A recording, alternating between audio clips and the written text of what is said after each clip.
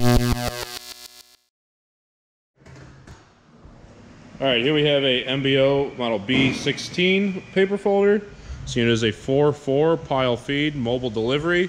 Runs on three-phase power. Gonna go ahead and fire it up for you.